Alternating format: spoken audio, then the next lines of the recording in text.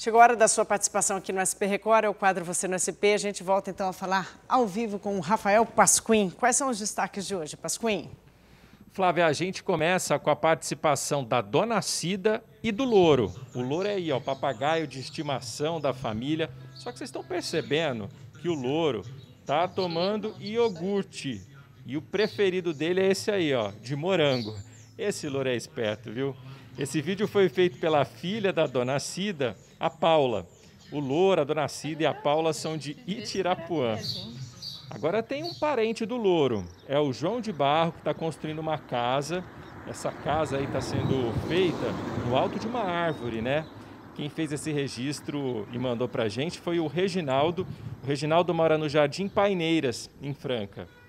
E de Franca também veio essa foto da mangueira, de uma mangueira né, que está carregada. Essa mangueira aí fica lá no sítio. É um vídeo, aliás, eu falei foto, mas é um vídeo. É, esse vídeo foi feito lá no sítio da Veronice, que fica lá no bairro Bom Jardim. Agora, esse aí, ó, fazendo uma boquinha, é o Bolinha, o porquinho da Índia, tá matando a fome. A Sandra, que é de Cândido Rodrigues, mandou esse vídeo pra gente. Ela falou assim que tudo isso o Bolinha come só na hora do almoço. Por isso que está com esse nome, né? Olha que fofinho aí o Bolinha.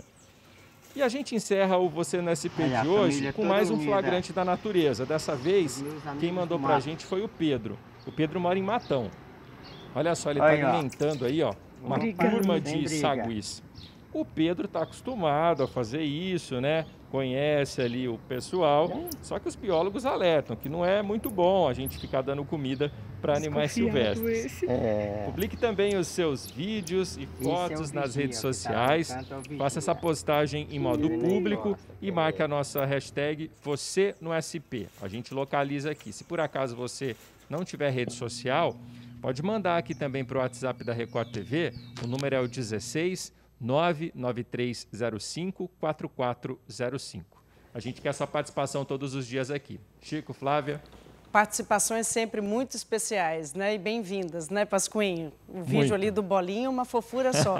Agora, no caso do saguis, é importante a gente só complementar isso mesmo que você disse, né, Pascoinho? O que os biólogos dizem é que se a gente alimenta os, os macaquinhos, os saguis, macaco prego, a gente cria dois problemas. Cria um problema para os animais, que passam a depender dessa comida todos os dias, e cria também um problema para os seres humanos, porque os animais vão começar a querer invadir as cidades. E aí ah, o equilíbrio se perde, né? Então, é. como diz ali o ditado popular, cada Esse macaco é no seu galho, né, Pasquim? Exatamente, Flávia, bem lembrada e bem colocada a explicação.